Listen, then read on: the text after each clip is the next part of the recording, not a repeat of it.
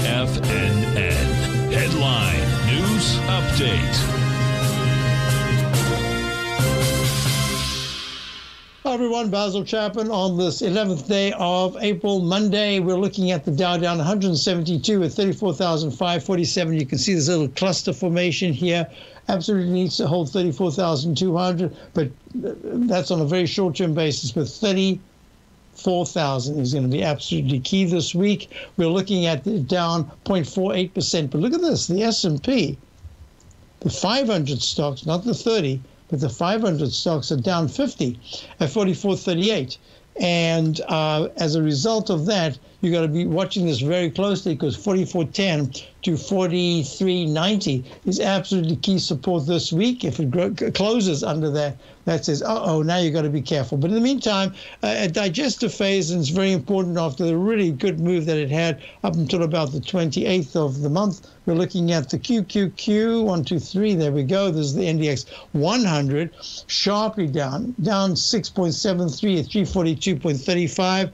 Mm, this is not good. This is a failure pattern. And as is just keep in mind that these NASDAQ, the growth stocks, are still having a terrible time. IWM, the Russell small caps, Russell 2000, uh, was moving up earlier on. Now it's down 41 and 197.46. A big issue here is going to be bonds. You're looking at bonds going to lower lows. That means yields are going to higher highs.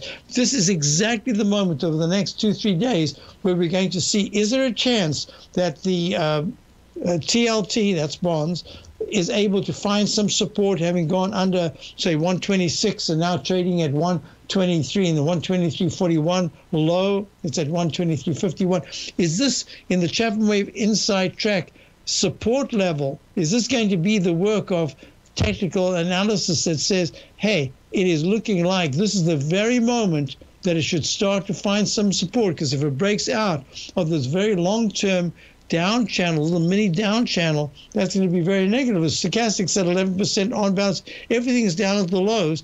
Uh, we're going to be watched to see what happens by Wednesday or Thursday. If the TLT finally can get to the 125.90, 126.60 area, probably about a little bit a little higher than that. And I'll say, oh, good. Now there's a little bit of a turnaround to help those yields from uh, running too sharply, maybe getting into a position where you can pull back for a little bit. That's just the way we're looking at it. Crude oil, crude oil is acting. Um, it's been weak, but it's holding the base of support here in the arch formation.